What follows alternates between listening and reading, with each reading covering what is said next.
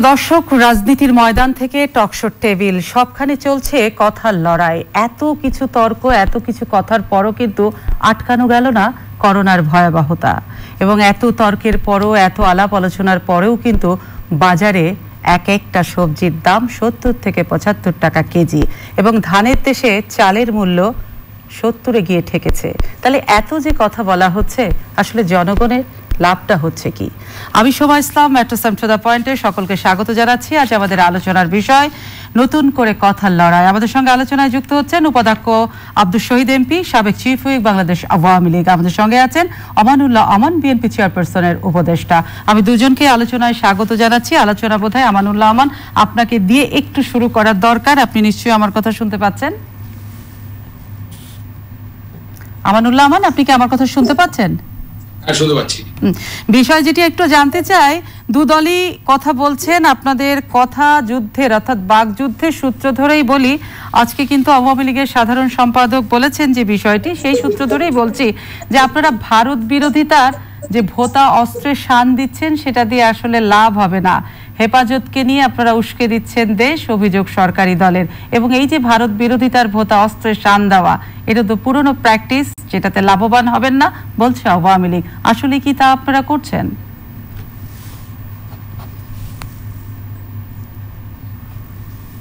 আমানুল্লাহ আমার শুনতে পেয়েছেন কি প্রশ্নটি? আমি শুনতে পেয়েছি। আমি শুনতে পেয়েছি যে কথাটা আপনি বলেছেন যে আওয়ামী লীগের সুযোগ্য সাধারণ সম্পাদক যারা ওবায়দুল কাদের সাহেব, উনি বলেছেন, আসলে উনি একজন একসময় ছাত্রনেতা ছিলেন এবং আমরা দেখেছি ঢাকা বিশ্ববিদ্যালয়ে এবং সেই পর্যায়ে পরবর্তী আমরাও সেখানে ছিলাম। আসলে কাদের ভাই, অনেক সময় রাজনীতির স্বার্থে, তার রাজনীতির স্বার্থে অনেক কথা বলেন, অনেক কথা বলেন তাদের, তার নেতৃত্ব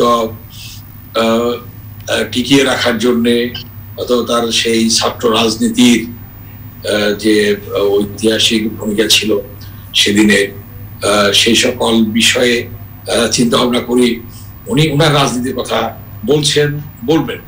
এটাই স্বাভাবিক। কিন্তু আপনি জানেন, সারা দেশের নয়, সারা বিশ্বের মানুষ দেখেছে, যখন স্বাধীনতার সুবর্ণ জয়ন্তী পালন উপলক্ষে বিদেশি মেহমানরা আসবেন। বিভিন্ন দেশের সরকার প্রধান, রাষ্ট্রপ্রধান আসবেন। আমাদের দলের পক্ষ থেকে, বিএনপির পক্ষ থেকে আমাদের সুযোগ্য মহাসচিব যারা মির্জা ফখরুল ইসলাম আলমী সাহেব তাদেরকে স্বাগত জানিয়েছেন এবং সাংবাদিকরা প্রশ্ন করেছিলেন যে ভারতের প্রধানমন্ত্রী আসছেন। এ বিষয়ে তিনি বলেছেন যে আমরা তাকে স্বাগত জানাই। এবং এ বিষয়ে কোনো ধরনের কোনো ত্রুটি ছিল না আমাদের। বিদেশি মেহমানরা আসবেন বাংলাদেশে তাদের মর্যাদা দেওয়া তাদের দেশের সুনাম রক্ষা করা এটা আমাদের দায়িত্ব বলে আমরা মনে করি এবং সেভাবেই আমাদের মহাসচিব বলেছেন। তো এ বিষয়ে যে কথাটা বলছেন যে ভারত বিরোধী আসলে বিএনপি কখনোই কোনো দেশ বিরোধী ছিল না। যে কোনো দেশের যে কোনো কর্মকাণ্ডের বিষয়ে কথা বলতে পারেন আমাদের দাবি দেওয়ার ব্যাপারে কথা বলতে পারেন তিস্তা চুক্তির বিষয়ে কথা বলতে পারেন তিস্তার পানি। আমরা এভাবে দেশের স্বার্থে দেশের প্রয়োজনে দেশের মানুষের প্রয়োজনে জনগণের স্বার্থে যে কথাটা বলা প্রয়োজন আমাদের দলের পক্ষ থেকে মহাসচিব সে কথাটাই বলেন সে কথাই বলছেন। অতএব এখানে আমাদের আওয়ামী লীগের সাধারণ সমাজ যেটা বলেছেন এটা সঠিক নয় আসলে রাজনীতির জন্য রাজনীতি করেছে জি তাহলে সেই কথা সূত্র ধরেই আমানুল্লাহ আমান আপনার কাছে একটু জানতে চাই। নরেন্দ্র মোদীর সফরকে কেন্দ্র করে হেফাজতে ইসলাম যে হরতাল এবং আন্দোলন করল সেই আন্দোলনের সাথে যোগসূত্র কেন আওয়ামী লীগ আপনাদেরটাই খুঁজে পেল? এবং আপনারাই কেন বলছেন হেফাজতে ইসলামের যে আন্দোলন সেটাকে অবশ্যই গণতান্ত্রিক অধিকার দেশ জ্বালিয়ে দেওয়া পুড়িয়ে দেওয়া সব ছাড়খাড় করে যাওয়া। এবং আপনারা তাদেরকে উস্কে দিয়েছেন। সেই অভিযোগও তো আওয়ামী লীগ করেছে। তাহলে কি সেটাতে সত্যতা নেই? সেটা কি তারা মিথ্যা অভিযোগ করছে? আপনি জানেন যে এক একটা দলের এক একটা রাজনৈতিক চিন্তা ভাবনা আছে তাদের এক একটা আদর্শ আছে উদ্দেশ্য আছে লক্ষ্য আছে। আমাদের মহাসচিব যে কথাটা বলেছেন তার সূত্র ধরে আমি বলতে চাই যে হেফাজতে ইসলাম তারা তাদের আন্দোলন করেছে তাদের তাদের উদ্দেশ্য তারা তাদের লক্ষ্য তাদের আইডিওলজি তাদের চিন্তা ভাবনা তাদের রাজনীতি আর বিএনপির রাজনীতি বা অন্য একটা দলের রাজনীতি কখনোই এক নয়। আমরা যেটা বলেছি যে আমরা দেশের জনগণের স্বার্থে যেটা আমাদের চাওয়া প্রয়োজন সেটা আমরা চাচ্ছি, সেটা বলছি। কিন্তু হেফাজতে ইসলাম যে উদ্দেশ্যে, যে লক্ষ্যে তাদের আন্দোলন, তাদের সংগ্রাম এবং তাদের দাবি দেওয়া, সেটা তাদের পয়েন্ট অফ ভিউতে তারা বলছেন। সেক্ষেত্রে আমরা যেটা বলেছি, আমাদের মহাসিম যেটা বলেছেন যে হেফাজতের আন্দোলনের সাথে বিএনপির কোনো যুগসূত্র নেই।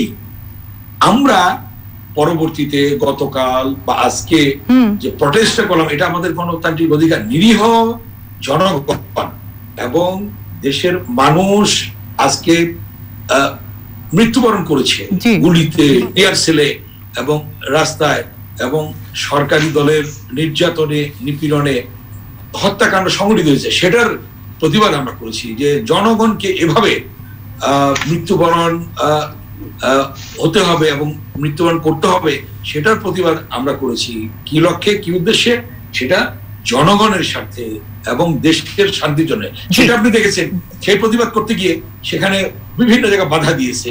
চট্টগ্রামে বিএনপির আহ্বায়ক ডাক্তার সাদাতকে গ্রেফতার করেছে। সভা করতে দেবে না।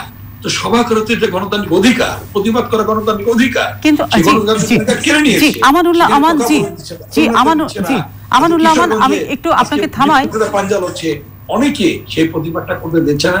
প্রতিবাদ করে তো গণতান্ত্রিক অধিকার। আমার কথা বলা এটা আমার গণতান্ত্রিক অধিকার। সেই কথাটা আজকে বলতে দিচ্ছে আমানুল্লাহ আমান আর একটা বিষয় জি আপনি যেটা বলেছেন আমরা পরিষ্কার বুঝতে পেরেছি কিন্তু আপনি যেটা বলেছেন সেটাও যেমন বুঝতে পেরেছি এবং যেটা আপনি আপনার কাছ থেকে জানতে চাই সেটাও একটু পরিষ্কার হতে চাই। অবশ্যই গণতান্ত্রিক দেশে সকলের বাক স্বাধীনতা এবং দাবি দেওয়ার রাজপথে নামার অবশ্যই অধিকার আছে। আপনি যেটা আপনারা যেটা বলছেন যে হেফাজতে ইসলামে যে কর্মীদেরকে গুলি করে হত্যা করা হলো সেটাতে আপনারা প্রতিবাদ জানিয়েছেন। সেটা অবশ্যই প্রতিবাদের ভাষা আপনারা আপনাদের মতো করে বলেছেন। কিন্তু আরেকটা বিষয় যেটা জানতে চাই আমানুল্লাহ আমান গুলি করে হত্যা করাতে আপনারা যেমন প্রতিবাদ জানিয়েছেন কিন্তু হেফাজতে ইসলাম যে নাশকতাটা করল সেটাতে কি আপনারা নিন্দা জানিয়েছেন? কিংবা সেটা কি নিন্দনীয় কিনা?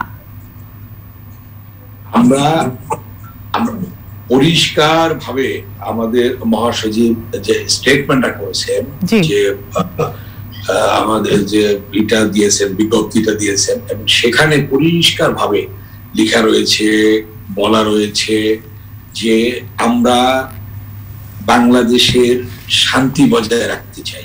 আমরা গণতান্ত্রিক ভাবে গণতন্ত্র পুনরুদ্ধারের জন্য ভোটাধিকার প্রতিষ্ঠার জন্য আমরা নিয়মতান্ত্রিক আন্দোলন করতে চাই।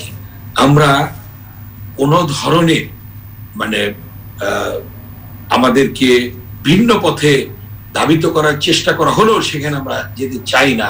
কিন্তু সরকার কি করছে? এই গণতান্ত্রিক অধিকার প্রতিষ্ঠার জন্য এই কথা বলার অধিকার প্রতিষ্ঠার জন্য ভোটাধিকার প্রতিষ্ঠার জন্য যখনই আমরা রাজপথে কথা বলি সেখানেই দেখা যাচ্ছে আমাদের উপর আক্রমণ করা হচ্ছে, গুলি চালানো হচ্ছে, গ্রেফতার করা হচ্ছে। এই যে গ্রেফতার গুলি কেন? নাসিমন ভবনের চট্টগ্রামে মিটিং করবে, ঘরের ভিতরে কেন করবে? বাইরে করবে কিন্তু আমরা যতটুকু পত্র পত্রিকার মধ্যে আমানুল্লাহ আমান আমি আপনার কাছে ফিরবো আমি আপনার কাছে ফিরবো আমি আমার আরেকজন অতিথির কাছে যেতে চাই। আমানুল্লাহ আমান যতটুকু পত্র পত্রিকার মাধ্যমে আমরা পড়েছি আপনি যেটা বলছেন আমি আপনার কথা এখনও পরিষ্কার হতে পারলাম না যে হেফাজত যেটা অরাজকতা করল সেটাতে আপনারা নিন্দা জানাচ্ছেন কিনা। এবং আপনাদের ডক্টর শাহাদত যিনি চট্টগ্রামে মেয়র প্রার্থী ছিলেন তাকে যে গ্রেপ্তার করা হয়েছে পত্র পত্রিকায় যতটুকু আমরা জানতে পারছি আপনাদেরই দলের একজন নেত্রী ডক্টর লুসি খানের করা মামলাতেই কিন্তু ডক্টর শাহাদত গ্রেপ্তার হয়েছেন আপনি আমি প্রশ্নটি রেখে যাই আমি উপাধ্যক্ষ আব্দুল শহীদের কাছে যেতে চাচ্ছি। উপাধ্যক্ষ আব্দুল শহীদ আপনি কি আমার কথা শুনতে পাচ্ছেন? হ্যাঁ শুনতে পাচ্ছি। মাঝে মাঝে ফোনে ডিস্টার্ব করে এভাবেই চালাতে হবে বোধহয়। আজকে নেটওয়ার্কটা খুব বেশি ভালো না। বিএনপি সরকারের পদত্যাগ দাবি করেছে। সেটি যেমন একটা প্রসঙ্গ আর একটি প্রসঙ্গ হেফাজতে ইসলাম নিয়ে যেটুকু জানতে চাই সাম্প্রতিক সময় এই আলোচনাটাই তো সবখানে। সেজন্য জানতে চাচ্ছি যে বারবারই বলা হচ্ছে হেফাজতে ইসলামকে কিন্তু উস্কে দিয়েছে বিএনপি আপনাদের তরফ থেকে বলা হচ্ছে। কিন্তু আবার উল্টো পাশ থেকে আরেকটা অভিযোগ আছে যে হেফাজতের সাথে আপনারা কিন্তু সমঝোতা করেই চলছেন। এখন কোনটাকে আসলে সঠিক কোনটাকে বেঠিক? ব্যাখ্যা তো আপনিই দিবেন। একটু আর একটু ধীরে সুস্থে বললে শুনতে সুবিধা ভালো হইতো। ধন্যবাদ। আসলে মেট্রোস অনুষ্ঠানকে সংযুক্ত করার জন্য ধন্যবাদ চ্যানেলাইকে এবং সকল শ্রোতাদেরকে আমি ধন্যবাদ জানাচ্ছি।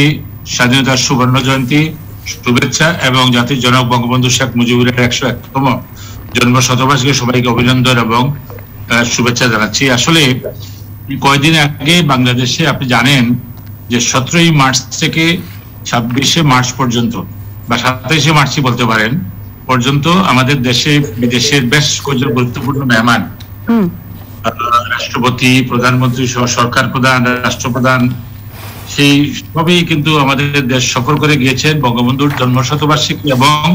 স্বাধীনতা দিবস জয়ন্তীতে অংশগ্রহণ করার লক্ষ্যে এবং এছাড়াও বিশ্বের বহু দেশের রাষ্ট্রপ্রধান সরকার প্রধানরা বাণী দিয়েছেন বক্তব্য দিয়েছেন ইভেন জাতিসংঘের মহাসচিব সহ সবাই দিয়েছেন। বাংলাদেশ আজকে বিশ্বের দরবারে একটি অত্যন্ত গুরুত্বপূর্ণ একটি রাষ্ট্র। যদিও আমাদের আকারে ছোট হলেও বিশ্বের অনেক দেশ থেকে জনসংখ্যার দিক থেকে আমরা কিন্তু অনেক বড়। সেই হিসাবে আমাদের অর্থনীতির চাকাও আজকে অত্যন্ত অগ্রগতি এবং উন্নতি দিকে দাবিয়ে যাচ্ছে। এখান থেকে করার কোনো উপায় নাই। এই মুহূর্তে আজকে দেখেন ভারতের মোহাম্মদ বা মাননীয় প্রধানমন্ত্রী যখন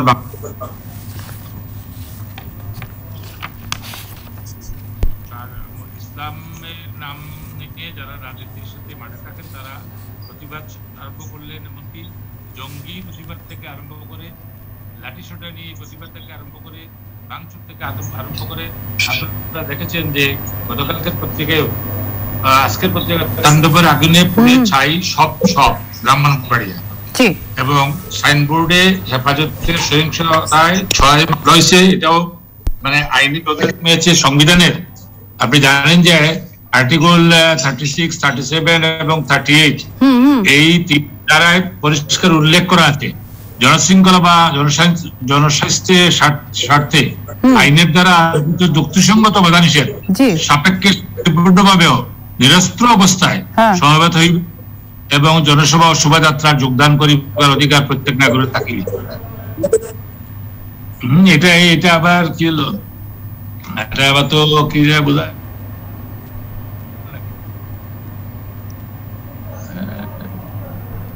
পুরো যন্ত্রণা করে বা। কি বলে? যন্ত্রণা করতেছে। একটু আমি জি। দেখতেছি একটু জি জি উপাধ্যক্ষ আব্দুল শহীদ বরং আপনি আপনার এই মুহূর্তে একটু ছবিটা হরিজন্টাল হয়ে গেছে তো ওটাকে একটু সোজা করে আমি সেই মুহূর্তে একে একটু চলে যাই। আহ, আমি আমান ভাইয়ের কাছে একটু যেতে চাই। আমানুল্লাহ আমান শুনতে পাচ্ছেন কি আমার কথা? জি যে বিষয়টা জানতে চাই যে বারবারই দেখা যাচ্ছে অন্যান্য সময়ের চেয়ে ভারত বিরোধিতা কেমন যেন রাজনৈতিকভাবে বেড়ে গেছে এবং সেই রাজনৈতিক চাপটা কিন্তু মানুষে মানুষে গিয়েও পৌঁছে গেছে দু দেশের মধ্যে। কিন্তু এখন যেটা চাচ্ছি যে আপনারা নরেন্দ্র মোদী আসবার পর দেখলাম দলের মহাসচিব কিন্তু বলছেন তিস্তার যে অমীমাংসিত পানির হিস্যা সেটা সমাধান করতে হবে। কিন্তু আবার বিএনপি কিন্তু একথা আওয়ামী লীগ কিন্তু একথাও বলছে যে যেখানে আপনারা বলছেন তিস্তার ন্যায্য হিস্যা চায় সেখানে যখন বিএনপি চেয়ারপারসন বিএনপি ভারত সফরে গিয়েছিলেন, তখন কিন্তু তিনি গঙ্গার পানি বন্টন কথা বলতে ভুলে গিয়েছিলেন। এটি যেমন একটি বিষয় তুলেছে আওয়ামী লীগ, আরেকটি বিষয় আছে, আপনারা বলছেন যে আওয়ামী লীগ ভারতের কাছে দেশ বিক্রি করে দিয়েছে কিন্তু আপনাদের সময় কিন্তু আপনারা গ্যাস দেবারও প্রতিশ্রুতি দিয়েছিলেন টাটাকে সেটা পঁচিশ বছরের শর্তে। হয়তো শর্ত অনুযায়ী মিলেনি বলেই হয়তো সেই চুক্তি সম্পাদন হয়নি। তো এই জায়গাটাকে একটু ক্লিয়ার হতে চাই আমরা যে বিরোধী পক্ষে থাকলেই কি অন্যদিকে অবস্থান নিতে হয় কিনা? আসলে আপনি যেটা প্রথমেই বলেছিলেন এর পূর্বে যে ডাক্তার সাদাতকে ভিন্ন একটি মামলা। সেটা পার্টির কার্যালয় থেকে বিএনপি কার্যালয় থেকে ভিতর থেকে বাইরে তো প্রোগ্রাম করতে দিলই না এবং সেখানে প্রচণ্ড ভাবে লাঠি পেটা টিয়ার সেল এবং গুলি এবং সাথে সাথে কিছু মহিলা ছিল নেত্রী মহিলা নেত্রী তাদেরকে পার্টি অফিসের ভিতর থেকে। তাদেরকে গাড়ি প্রিজন ভ্যানে উঠানো হলো। তো তারা কোন মামলায় গ্রেফতার হলো? তারা কেন গ্রেফতার হলো? এই যে মানে একই জায়গায় দু রকম কথা। যে ডাক্তার সাদাতকে গ্রেফতার করা হলো অন্য মামলায় তাদেরকে গ্রেফতার করা হলো এখানে তারা পার্টি অফিসে বসে আছে সেখানে তাদেরকে এভাবে গ্রেফতার করা হলো। অতএব এখানে এগুলি সবকিছু একটি সাজানো নাটক। আপনি দেখেছেন খুলনায় যে খুলনার যে আমাদের নেতা। সে মন্ত্রী কীভাবে সে একা একা বসে আছে আর তার পাশ থেকে সকলকে কীভাবে মারধর করেছে? কিশোরগঞ্জে আজকে কি হয়েছে? মৃত্যুর সাথে পাঞ্জা লড়ছে হসপিটালে। সেখানে গুলি টিয়ার সেল মানে এভাবে আজকে দমন নীতি চালানো হচ্ছে। যে বিষয়টা আপনি পরবর্তীতে বললেন। না তাহলে আমি এই ফাঁকে আরেকটা কথা বলে রাখি। আপনি এই ফাঁকে দমন নিপীড়নের কথা যখন বললেন এবং ডক্টর শাহাদাতের প্রসঙ্গ যখন বারবার বলা হচ্ছে যে দাঁড়াতে দিচ্ছে না তাহলে আরেকটা বিষয় একটু জানতে চাই যে নিপুণ রায়কে যে গ্রেপ্তার করা হলো সেটা কীভাবে হলো? নিপুণ রায়কে তো গ্রেপ্তার করা হয়েছে। তার টেলিফোন কনভারসেশন এবং গোয়েন্দা নজরদারির আলোকে যে গাড়ি পুরানের নির্দেশ দিয়েছিল আরমান নামের একটা ছেলেকে এবং জায়গা মতো পৌঁছে দিবে সেই জায়গাটির কথা। যে হেফাজতের হরতালে নিপুণ রায় কেন বলবে গাড়ি পুরানোর নির্দেশ দিবে সেই জায়গাটাও একটু ব্যাখ্যা চাই। আসলে অনেকভাবে অনেক কি জড়ানো হচ্ছে। মিথ্যে মামলা দিয়ে মিথ্যে ভাবে সাজানো মামলায় এবং সাজিয়ে অনেক কিছু করা হচ্ছে। আপনার, এই বিষয়টা আপনাদের জানা রয়েছে। অনেকের ভয়েসকে অনেকভাবে বিকৃত করা হচ্ছে, অনেকের ভাষাকে অনেকভাবে নেওয়া হচ্ছে অনেকের কে অনেকভাবে মিথ্যে ভাবে জড়ানোর চেষ্টা করা হচ্ছে। এগুলি গভর্নমেন্টের কৌশল। তার, সেই কৌশলই আজকে ধারাবাহিকতায়, আজকে সেই নির্যাতনের শিকার হয়েছে নিপুণ রায়। যার কথা আপনি বললেন। কিন্তু নিপুণ যে আপনি বলছেন যে কথাগুলোকে বিকৃত করা হয়েছে টেলিফোন কনভারসেশনের ভিত্তিতে কিন্তু র্যাব বলছে নিপুণ রায়কে গ্রেপ্তার করা হয়নি। গোয়েন্দা নজরদারি এবং গোয়েন্দা সূত্রের ভিত্তিতেই তারা নিপুণ রায়কে গ্রেপ্তার করেছে। এরকম এরকম বহুভাবে হুম। বিষয়ে মানে সরকার যেটা ইচ্ছা তারা করতে পারে। মানে সরকার ইচ্ছার উপর নির্ভর করে। এবং সেই ইচ্ছাটা কীভাবে তারা কোন দিকে নিয়ে যাবে? কাকে কোন দিকে মিথ্যে মামলা দিয়ে তাকে সম্পৃক্ত করার চেষ্টা করবে এটা সরকার ভালোভাবে জানেন। আপনারা এটা তো জানেন যে বাংলাদেশে কিনা করেছে। বেগম খালেদা জিয়া তিনবারের প্রধানমন্ত্রী ওয়ান ইলেভেনে তার নামে ছিল বারোটি মামলা আর বর্তমানে প্রধানমন্ত্রী তার নামে ছিল পনেরোটি মামলা। একদিনে পনেরো মামলা শেষ বারো মামলা রয়ে গেল এবং তারপর অর্ধশতাধিক মামলা প্রধান সাবেক প্রধানমন্ত্রী তিনবারের বেগম খালেদা জিয়া নামে দেওয়া হলো। মিথ্যে মামলা দিয়ে মিথ্যে সাজা দিয়ে তাকে গ্রেফতার করে রাখা হয়েছে। আপনি আজকে ধরুন স্বাধীনতার পঞ্চাশ বছর আজকে সুবর্ণ পালন হচ্ছে সেখানে বেগম খালেদা জিয়া উনিশশো একাত্তর সালে মুক্তিযুদ্ধ চলাকালীন শহীদ রাষ্ট্রপতি জিয়াউর রহমান যখন কালুরগান বেতারখণ্ড থেকে স্বাধীনতার ঘোষণা দিয়ে তিনি রণাঙ্গনে চলে গেলেন বেগম খালেদা জিয়াকে এবং আজকের বিএনপির ভারপ্রাপ্ত চেয়ারম্যান তারেক রহমান এবং মরহুম আরাফাত রহমান কুকু সহ গ্রেফতার হলো। পঞ্চাশ বছর আগে স্বাধীনতার যুদ্ধ চলাকালীন অবস্থায় যখন গ্রেফতার হলেন আজকে স্বাধীনতার রজত জয়ন্তী সুবর্ণ জয়ন্তীতে। এই পঞ্চাশ বছর পরে বেগম খালেদা জিয়া আজকেও তিনি কারাগারে আজকেও তিনি গ্রেপ্তার এই যে কলঙ্কিত ইতিহাস এই সরকার সৃষ্টি করলেন আসলে কি এটা জনগণের কাম্য ছিল? এভাবে কিন্তু আজকে বিভিন্ন পর্যায়ে বিভিন্ন ভাবে মিথ্যে মামলা দিয়ে মিথ্যে সাজা দিয়ে আজকে অনেককে কারাগারে রাখা হচ্ছে অনেককে আজকে জি। বিভিন্ন ভাবে জড়ানো হচ্ছে। এই অপচেষ্টা লিপ্ত রয়েছে তারা। অতএব এটা দেখুন এই যে কালকে একটা প্রেস ক্লাবে পরশু দিন একটা প্রোগ্রাম প্রোগ্রাম হলো।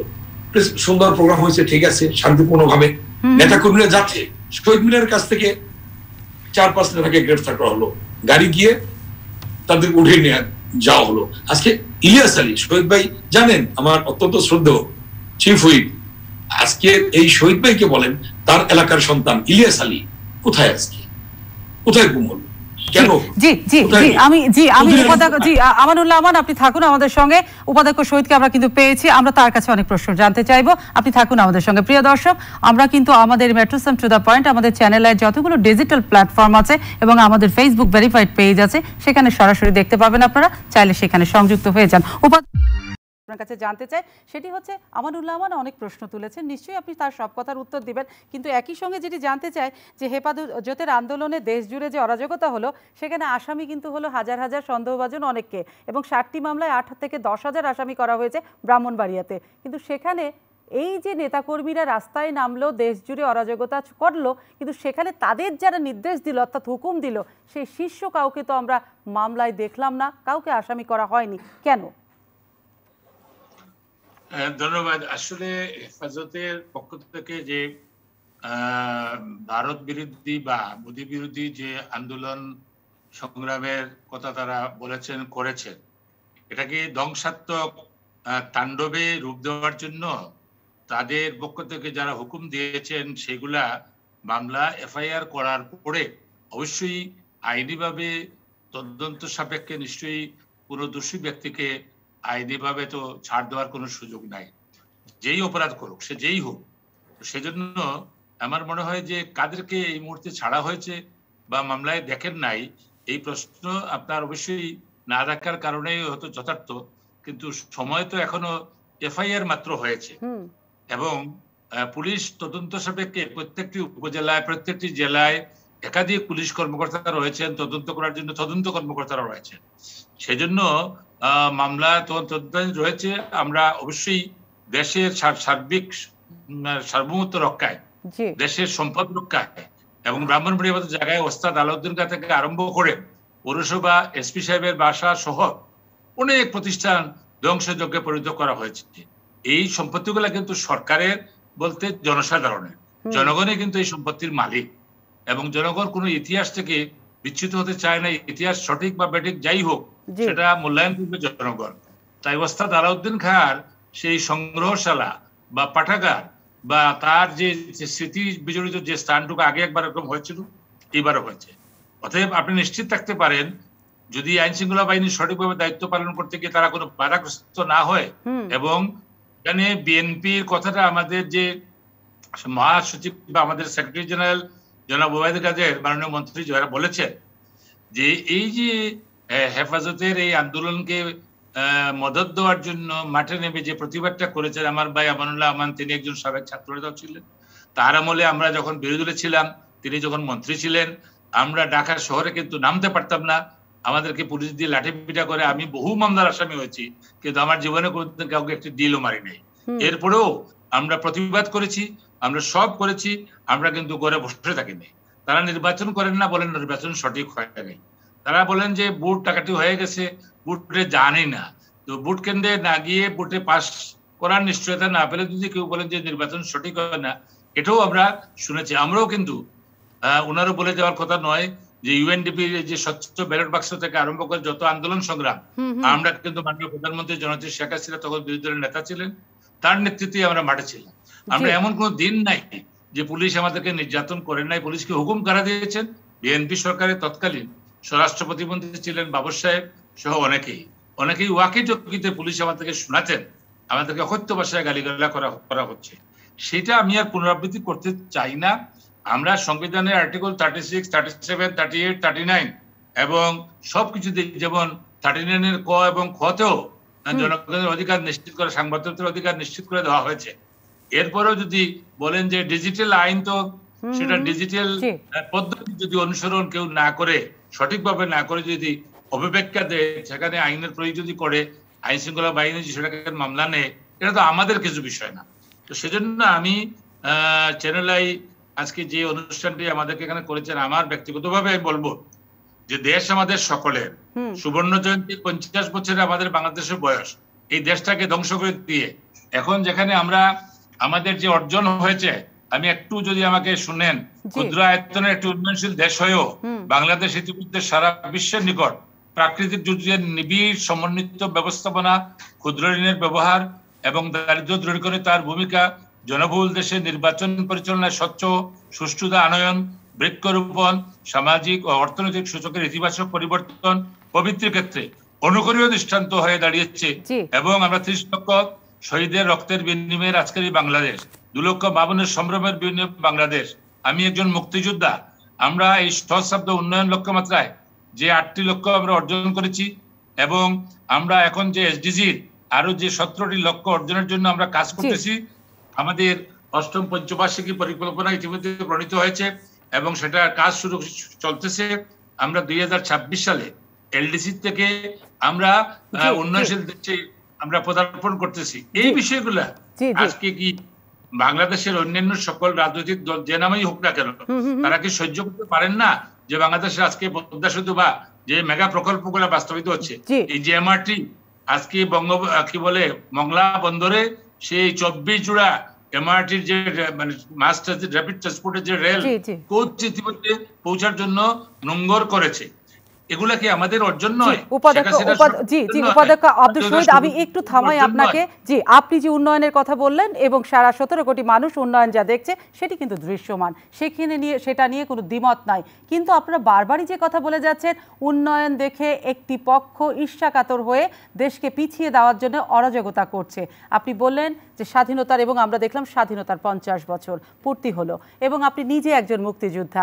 এই যে অরাজনৈতিক শক্তি কিংবা সংগঠন কিংবা জামাত শিবির কিংবা বিএনপি যদি দেশকে পিছিয়ে দেওয়ার চক্রান্ত করে থাকে বারবারই, এই যে দোষারোপের রাজনীতি, সেই জায়গা থেকে আপনি মুক্তিযোদ্ধা। আমি যদি বলি স্বাধীনতার পঞ্চাশ বছরে কেন জামাত শিবির এখনও নিষিদ্ধ হয়নি? কেন হেফাজতে ইসলাম স্বাধীনতার পঞ্চাশ বছরে এই ধরনের অপশক্তি দেখাবার সুযোগ পায়? কেন তাদেরকেও নিষিদ্ধ করা হয় না? যারা বঙ্গবন্ধুকে মানে না, যারা স্বাধীনতার সার্বভৌমত্ব মানে না, যারা সবসময় দেশ বিরোধিতা কথা বলে, এই যে হেফাজতে ইসলাম, তাদেরকেও কেন আপনারা আইনের আওতায় আনতে পারেন না? এক পক্ষ আপনারা বলছেন হেফাজতকে উস্কে দিচ্ছে বিএনপি আবার অন্য পক্ষ বলছে আপনারা হেফাজতকে লালন পালন করছেন। এই প্রশ্নগুলোর আসলে উত্তরটা কি? ধন্যবাদ আপনাকে। আমরা শুধু প্রতিবাদ করি অসত্য তথ্য দেওয়ার কারণে। সেই প্রতিবাদের কারণেই আমাদের আরেকজনের বিরুদ্ধে বলার বিষয়টা আপনারা হিসাবে আনতে পারেন। আমি আপনাদেরকে ধন্যবাদ জানাচ্ছি। ভবিষ্যতে আমরা আশা করব বিরোধী দল বা অন্যান্য রাজনৈতিক দল আমাদের ক্ষতির কারণ না হয়ে দাঁড়িয়ে দেশের মঙ্গলের জন্য কাজ করে যাবেন কোভিড এর জন্য কাজ করবেন। কোভিড মোকাবিলার জন্য আমরা সফল হতে পারি আবারও সেই দিকে যেন সবাই দৃষ্টি দিবেন সবাইকে ধন্যবাদ। খুদা হাফেজ জয় বাংলা। জি। আমি যে আপনি নিশ্চয়ই শুনতে পাচ্ছেন আমানুল্লাহ আমান আমার কথা? আমানুল জি। আমি আপনার কাছে প্রশ্ন রেখেছিলাম তিস্তার পানি। তিস্তার পানির আপনারা ন্যায্য হিসা চান সেই কারণে একটা ভারত বিরোধিতা আছে এবং অমীমাংসিত ইস্যুগুলোর সমাধান চান আপনারা সীমান্ত হত্যা থেকে। কিন্তু যেটি প্রশ্ন রেখেছিলাম আপনাদের সময় গঙ্গার পানি বন্টন কিন্তু আপনারা করেননি এবং আপনারা যেটা বলছেন যে দেশ ভারতের কাছে বিক্রি হয়ে যায় আপনাদের সময় কিন্তু আপনারা গ্যাস বিক্রি করার একটা চুক্তি করতে চেয়েছিলেন। টাটার কাছে পঁচিশ বছরের শক্ত ছিল। সেই বিষয়টা কি আপনারা বলবেন? আমি আমি আপনার আগের একটা প্রশ্নের আমি শহীদ যেটা বললেন আপনি জানেন এই যে স্বাধীনতা সুবর্ণ জয় এটা কি একটা দলই পালন করবে? আর কোন দল পালন করবে না। সবাই পালন করার জন্য একদিকে ওনারা ছাব্বিশ তারিখ করছেন। আমরা র্যালি করতে পারলাম স্বাধীনতা সুবর্ণ জয়ন্তী পালনে কি কোথাও কোনো বাধা ছিল? আমানুল্লাহ আমান? আপনারা করেননি আপনারা আপনাদের প্রোগ্রামগুলো স্থগিত করেছিলেন করোনার কারণে। স্থগিত হয়েছিল তিন দিন এর পরবর্তীতে এই যে কেন করা হলো পারমিশন দিচ্ছে না। র্যালি করা যাবে না মানে কোনো কিছু করা যাবে না। এদিকে কোনো ঘটনা ঘটলে দায়ভার নিতে হবে বিএনপিকে। এই যে কথাগুলি এবং স্বাধীনতা সুবর্ণ সবার সবাই পালন করবে সবার অধিকার এটা। আর নির্বাচন সম্পর্কে যেটা বললেন যে নির্বাচনটা কি যে কিছু কিছু পুলিশ অফিসার আন্দোলনের সময় ওনাদেরকে জানিয়েছেন যে কীভাবে গালাগালি করছেন। এই দুই হাজার আঠারো সালে যে নির্বাচনটা হলো এই নির্বাচনের তিন দিন চার দিন আগে যেভাবে এবং পুলিশ অফিসারদেরকে এবং সিভিল প্রশাসনকে যেভাবে নির্দেশ দেওয়া হয়েছিল যে আগের রাতে সিল মারা হবে একদিকে পুলিশ একদিকে সিভিল প্রশাসন এবং তারা সিল মেরে সেভেন্টি পার্সেন্ট ভোট রাতেই কাজ করবে এবং পরবর্তীতে পরের দিন তারা এজেন্ট বের করে দিয়ে বাকিটা নিয়ে নেবে। এটা তো আমরা জানতাম। সে ব্যাপারে পদক্ষেপ নেওয়ার জন্য আমরা বলেছিলাম। সরকারকে বলেছি নির্বাচন কমিশনকে বলেছি কোনোটাই কর্ণপাত হয় নাই। সেভাবেই ভোট হয়েছে। আমি নিজে চারবার এমপি হয়েছি। শহীদ ভাইও একাধিকবার চারবার মতোই এমপি হয়েছে বেশি হতে পারে। ছয়বার হয়েছেন। আপনি শহীদ ভাই ছয়বার এমপি হয়েছেন। আমি চারবার এমপি হয়েছি। কীভাবে হলাম? আমি সবসময় তত্ত্বাবধায়ক সরকার আমলে আমি চারবার এমপি হয়েছি। আর এবারের ইলেকশন বা চোদ্দের ইলেকশন সেটা কি হলো? এই সরকারের দলীয় সদস্য সরকার অধীনে নির্বাচন হলে কি হয়? সেই রেজাল্টটা তো আমরা পেলাম। আমরা জানি কীভাবে ভোট ডাকাতি হলো। সকল প্রতিষ্ঠানকে ধ্বংস করে দিয়েছে। আপনার বিচার বিভাগ ধ্বংস। আজকে প্রধান বিচারপতি পালিয়ে বেড়াচ্ছে। আজকে বিচারকরা সঠিক রায় দিলে দেশ থাকতে পারছে না। কিন্তু আমানুল্লাহ আমান আমি দুবার যে প্রশ্ন করেছি আমার প্রশ্নের উত্তর কিন্তু আমি এখনও পাইনি। তিস্তা চুক্তি গঙ্গা বন্টন পানি বন্টন জি। প্রশ্নের উত্তর আসছেন আমি প্রশ্ন উত্তর আসছি। সেখানে আজকে যেখানে একই দেশে দুটি নিয়ম যে নির্বাচন এভাবে হবে, বিএনপি ছয় সিট পাবে আর জাতীয় পার্টি তিরিশ সিট পাবে, যেখানে জাতীয় পার্টি চেয়ারম্যান হুসেন মোহাম্মদ এরশাদ নির্বাচন করবেনই না, করলেনই না, নমিনেশন প্রত্যাহার করতে চাইলেন সেইখানে তাকে এমপি বানানো হলো। ছয় সিট আর তিরিশ সিট। গৃহপরিষদকে বিরোধী দল বানিয়ে কোনোভাবে এই সরকার পরিচালিত করছে। সরকার তো জনগণের ভোট নয়, এই সরকার তো ভোট আগের রাতে ডাকাতির সরকার। এই সরকার তো অনৈতিক সরকার এই সরকার তো অবৈধ সরকার অত এই অবৈধ সরকার আজকে যেভাবে দেশ পরিচালনা করছে ক্ষেত্রে আমাদের মহাসচিব যেটা বলেছেন আমরা পানির ন্যায্য হিসা চাই অবশ্যই জনগণের জন্য বাংলাদেশের মানুষের জন্য বাংলাদেশের আমরা পানির ন্যায্য হিসা চাই এটা বলেছেন আমাদের মহাসচিব। এর মানে এই নয় যে ভারত বিরোধিতা আমরা সেই কারও বিরোধিতা করতে চাই না। আমরা জনগণের স্বার্থ সম্বলিত বিষয় নিয়ে আমরা দাবি দেওয়া করেছি আমাদের মহাসচিব করেছে। অর্থাৎ এই পর্যায়ে আমরা কোনো দেশের বিরোধী নই আমরা জনগণের স্বার্থে যে কোনো দেশের কাছে আমরা আমাদের দাবি দেওয়া তুলে ধরবো। মানুষের জন্য জনগণের স্বার্থে জনগণের প্রয়োজনে। অতএব আমি আজকে পরিষ্কার ভাষায় বলতে চাই যে যদি জনগণের ভোটাধিকার প্রতিষ্ঠা না হয় যদি গণতন্ত্র পুনরুদ্ধার না হয় তাহলে এদেশে যে আইন পাশ করানো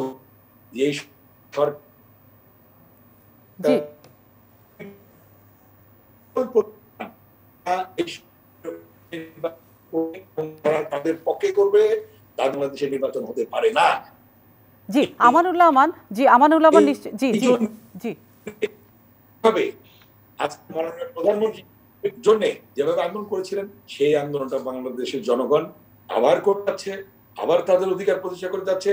আবার গণতন্ত্র পুনঃপ্রতিষ্ঠা করে যাচ্ছে, আবার জনগণের ভোটাধিকার প্রতিষ্ঠা করে যাচ্ছে, সেই লক্ষ্যে আমাদের নিয়মতান্ত্রিক আন্দোলন, নিয়মতান্ত্রিক সংগ্রাম কমা চলবে। অতএব এই সরকার অধীনে আর কোন নির্বাচন নয়। জনগণের সরকার প্রতিষ্ঠার জন্য জনগণ তাদের পছন্দ মতো নেতা নির্বাচন করবে এবং নির্দলীয় নিরপেক্ষ সরকার অধীনে সেই নির্বাচনটা বাংলাদেশের জনগণ চাচ্ছে। সেই আন্দোলন করতে গিয়ে যদি বলা হয় যে আজকে বিএনপি রাজপথে সন্ত্রাস করছে বা বিএনপি রাজপথে আজকে নেমে তারা জনগণকে অশান্ত অশান্তি সৃষ্টি করছে জনগণের সেটা সঠিক হবে আমরা যেটা করছি নিয়মতান্ত্রিক আমরা যেটা করব নিয়মতান্ত্রিক। এবং সেই নিয়মতান্ত্রিক আন্দোলনে জনগণ অবশ্যই আমাদের পাশে। জি, আপনি যেটা বলছেন যে আপনারা অবশ্যই সরকারকে সরানোর জন্য, সুষ্ঠু ভোটের জন্য, আইনের শাসন প্রতিষ্ঠা করার জন্য নিয়মতান্ত্রিক এবং গণতান্ত্রিক উপায়ে রাজপথে আন্দোলন করবেন এবং ভবিষ্যতেও কি কি করবেন সেটাও বললেন। কিন্তু আজকে কিন্তু দলের মহাসচিব বলেছেন, সরকারকে পদত্যাগের আহ্বান জানিয়েছেন। সেখানে আবার সাধারণ সম্পাদক কিন্তু বলেছেন, এটা অগণতান্ত্রিক প্রস্তাব এবং কথাবার্তা। এবং এটা কি আসলে কতটা গণতন্ত্র? আপনারা আন্দোলন করেই তো একটা সরকারকে কিংবা একটা জায়গা, দলকে উৎখাত করা হয়। আহ্বানের মধ্য দিয়ে কি কোনো সরকারকে তার গদি থেকে সরানো যায়?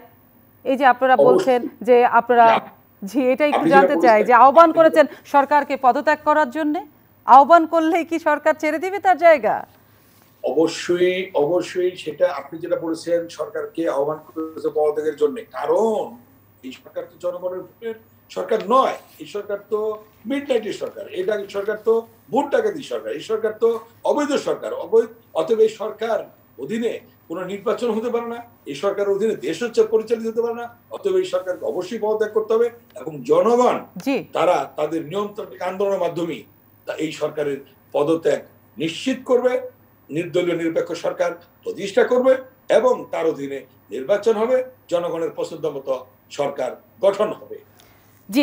আমাদের উপাধ্যক্ষ আব্দুল শহীদ নিশ্চয়ই আপনি আমাদের সঙ্গে আছেন। আমি আপনাকে কোনো প্রশ্ন করব না। আপনি এতক্ষণ শুনেছেন জবাব নিশ্চয়ই দিবেন। দেব আমি শুধু এটুকু বলতে চাই। অনেক আগেও আমি এই কথাগুলো বলেছি যে আমাদের দেশে যারা আমাদের আহ, স্বাধীনতা চেতনায় বিশ্বাস করেন বলে বাহ্যিক কথা বলে অন্তরে ধারণ করেন না তারাই কিন্তু আওয়ামী লীগ সরকার বা স্বাধীনতার পক্ষের শক্তি সরকারকে বারবার অসত্য তথ্য দিয়ে বিভিন্নভাবে ব্র্যাকেট করে বিভিন্ন কথা বলে আন্দোলন করার কথা বলেছেন, পদত্যাগের কথা বলেছেন, সরকার হটাও করার কথা বলেছেন। আমার প্রিয় ভাই আমানুল্লাহ, আমার কয়েকদিন আগে তার একটা বক্তব্য শুনেছি, যুদ্ধ যুদ্ধ যুদ্ধ ঘোষণা। এখন যুদ্ধ ওনারা কার সাথে করবেন? প্রতিপক্ষ যারা আছেন আমাদের বাউন্ডারির বাইরে, কোন প্রতিপক্ষ থাকলে যে যুদ্ধে আক্রমণ করে আমাদের তাইলে নিশ্চয়ই যুদ্ধ যুদ্ধ। কিন্তু সরকারের বিরুদ্ধে যুদ্ধ করার জন্য কি কি অস্ত্র হাতে নিয়ে ওনারা আছেন আমরা জানি না। তবে এইটুকু বলব যে পদত্যাগের কথা এখন বলতেছেন এই পদত্যাগের কথা অনেকবার বলেছে তো আমার মনে হয় যে দুই হাজার তেইশ সাল পর্যন্ত আহ, ওনারা অপেক্ষা করতে হবে এবং সেই ডিসেম্বর মাস আসলে তেইশ সালে আসলে নির্বাচনের সেই নির্বাচন কমিশন কর্তৃক শিডিউল ঘোষণা হলে অবশ্যই নির্বাচনে তারা অংশগ্রহণ করতে পারে। রাতের বেলা বুট কাটা হয়েছে। আমার নির্বাচন এলাকায় একজন সুরাকার বাড়ি আমার বিরুদ্ধে বিএনপি টিকিট নিয়ে নির্বাচন করে তিরানব্বই হাজার ভোট সেও কিন্তু যদি ভোট তিরানব্বই যেখানে জীবনে কোনোদিন পায় নাই, সে যদি পেয়ে থাকে আর আমি যদি ভোট পেয়ে থাকি সেখানে তাহলে উনি কি তাহলে রাতের বেলা ভোট কেটেই ওনার বাক্সে কি ধান চড়ার বাক্সে ভোট ঢুকাইছে? আর আমি তো রাত্রের বেলা তো ভোট গাইও নাই, আর আমি, আমার ভাই বলেছেন যে আমি অনেকবার নির্বাচিত হয়েছি। প্রত্যেকবারই কিন্তু আমি আমি সাইফুর রহমান সাহেবের সাথে, মরহুম সাহেবের সাথে নির্বাচন করেছি। আওয়ামী লীগের কি বলে, জাতীয় পার্টির বাঘা বাঘা প্রার্থীর সাথে কালো টাকার মালিকের সাথে সবসময় করেছি। নির্বাচনে আমি জনগণের আস্থা নিয়েই নৌকা মার্কায় ভোট নিয়ে শেখ হাসিনা মনোনীত প্রার্থী হিসাবে বারবার বিপুল ভোটে জয়লাভ করেছি। সেজন্য আমি বলব যে ওনারা যেটা দেখছেন এই দেখা মতো দেখাই হচ্ছে এবং এই দেখা নিয়ে আন্দোলন সংগ্রামের কথা বলে।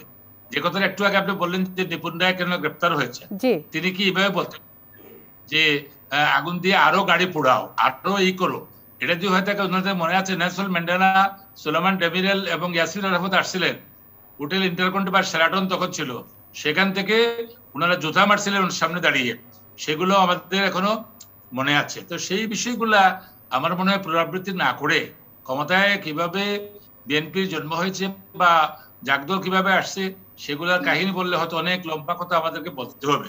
বুটের বাক্সে হ্যাঁ। খালি বাক্সে বুট গণনা করে হ্যাঁ হা না বুট আমরা জিয়াউর রহমান সাহেবের আমরাও দেখেছি আমরা সেও দেখেছি যে জাস্টিস কি বলে বিচারপতি সায়েম সাহেবকে সরিয়ে মার্শাল অ্যাডমিনিস্ট্রেট হওয়ার গায়ে কাহিনীও দেখেছি সংবিধানকে বারবার কাটছাট করে বিভিন্ন ধরনের রেটিফিকেশন করে ফিফথ অ্যামেন্ডমেন্ট করে যেভাবে রেটিফাই করে ইন্ডেমনিটি অর্ডিন্যান্সকে জায়জ করা হয়েছে সেটাও দেখেছি।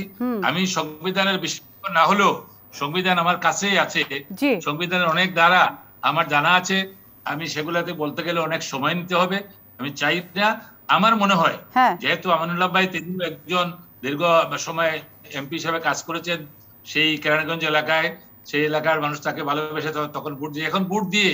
ভোটে দাঁড়াইলে পরে দেখবেন যে ওনার জনপ্রিয়তা আছে কতটুকু নাই কতটুকু হিসাব করতে হবে ভোটের মাধ্যমে জি জি উপাধ্যক্ষ আব্দুল শহীদ আমি আরেকটা প্রশ্ন আপনার কাছে করতে চাই। আমার অনুষ্ঠান প্রায় শেষের পথে তো একদিকে যেমন বিগত দল দিনের বিরোধী দল অর্থাৎ বিএনপি বলছে আমরা আন্দোলনের জন্য প্রস্তুত জনগণকে সঙ্গে নিয়ে আমরা এই সরকারকে উৎখাত করব। এটা তারা বলছেন। আবার আজকে আমরা দেখছি কিন্তু আজকে না বেশ কদিন থেকেই দেখছি জাতীয় পার্টি। জাতীয় পার্টি সেইভাবে একটু সুরটা চড়া করেছে। আজও তারা বলছে দেশে গণতন্ত্র নেই আইনের শাসন নেই। এবং অভিযোগ হচ্ছে জাতীয় পার্টির এবং তারা বলছে তারা মাঠে নামবে। এই যে জাতীয় পার্টি বলছে তারাও মাঠে নামবে এবং তারা গণতন্ত্র এদেশে নাই। উনিশশো একানব্বই সালের পর থেকে গণতন্ত্র সংবিধানকে সংশোধনের মধ্য দিয়ে গণতন্ত্র হত্যা করা হয়ে গেছে। বর্তমান বিরোধী দলও কিন্তু খেপে গেছে। তারাও বলছে মাঠে নামবে। এ বিষয়ে নিশ্চয়ই আপনারা কিছু বলবেন?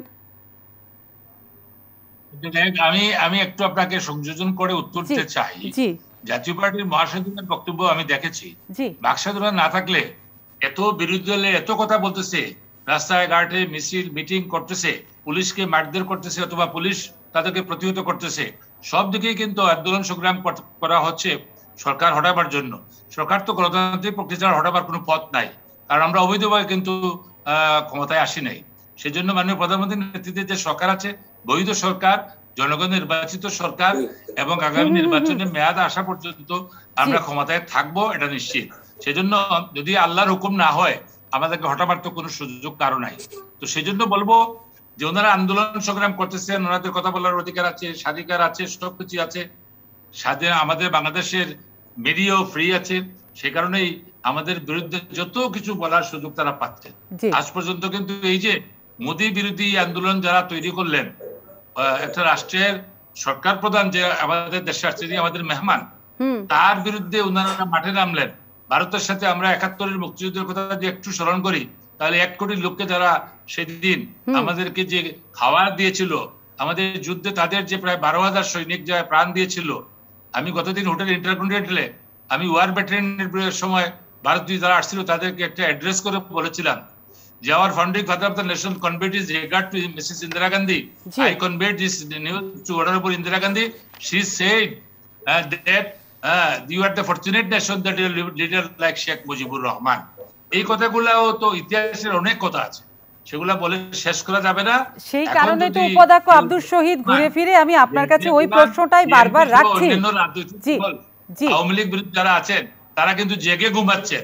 তাদের ঘুম ভাঙে দিতে হবে। জি, জি। এই হচ্ছে কথা। উপাধ্যক্ষ আব্দুল শহীদ এই কারণে আপনি যে যে কথাগুলো বলছেন জি জি জি। আমি আপনার কাছে যে কারণে বারবার ঘুরে ফিরে ওই একটা প্রশ্নই রাখতে চাচ্ছি যে যে সমস্ত মানুষ দেশবিরোধী ষড়যন্ত্র লিপ্ত আছে তাদেরকে চিহ্নিত করে আপনারা কেন আইনের হাতে তুলে দিচ্ছেন না? তারা কি করে ধরাছোঁয়ার বাইরে আছে? সেটি কিন্তু একটি বড় প্রশ্ন এসে দাঁড়িয়েছে।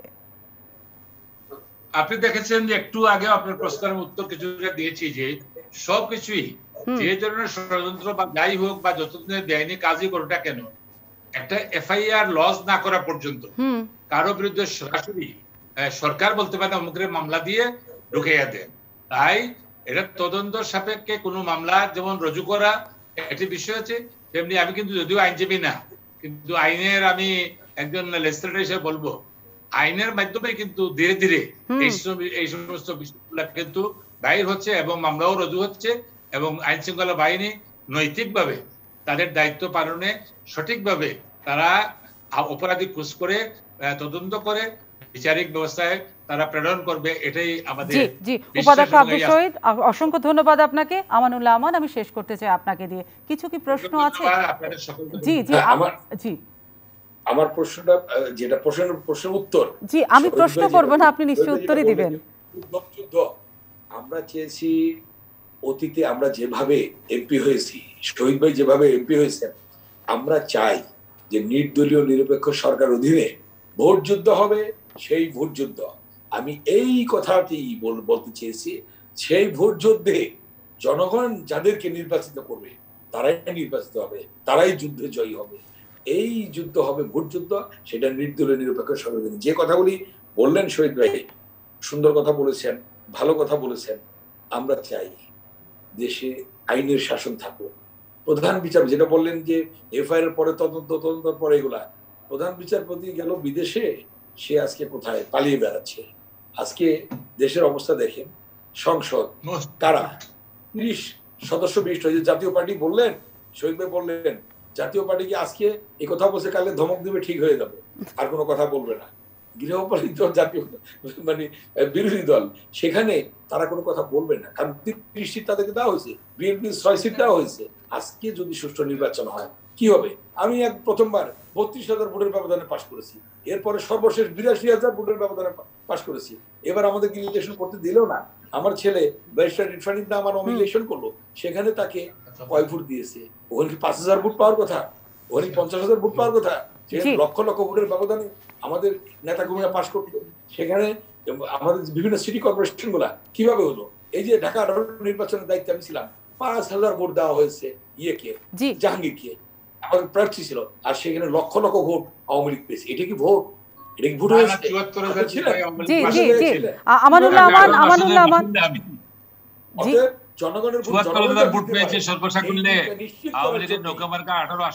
আমানুল্লাহ আমান আমি একটু আপনাকে থামাই অনুষ্ঠান আমাকে শেষ করতে হবে। আপনার প্রশ্ন থেকে আপনি উত্তর থেকে আমি দুটো বিষয় জানতে পারলাম যে যেটা বলা হচ্ছে যে আপনারা ভোট যুদ্ধ চান অর্থাৎ সমান সমান ভোট যুদ্ধ করে যেন বিজয়ী হয় সে যে দলই আসুক না কেন। এবং আরেকটি যেটা বললেন যে জাতীয় পার্টি যে আন্দোলনের কথা বলছে সরকার যদি জাতীয় পার্টিকে একটা ধমক দেয় তাহলে তারা চুপ হয়ে যাবে। এখন আপনি যে সমান সমান ভোট যুদ্ধের কথা বললেন সেই যুদ্ধটার জন্য তো অপেক্ষা করতে হবে নাকি অপেক্ষার আগেই আপনার রাজপথে যুদ্ধ শুরু করে দিবেন? অবৈধ সরকার নয় ভোটের সরকার নয়। আগের রাতে মিড নাইটের সরকার এটা আগের রাতে ভোট ডাকাতির সরকার এটা। এই অবৈধ সরকার থাকতে পারে কিন্তু সমান সমান সবার জন্য ভোট যুদ্ধের জন্য তো আপনাকে সময় থাকতে হবে আরও তো অপেক্ষা করতে হবে আরও তো সময় আছে জাতীয় নির্বাচনের।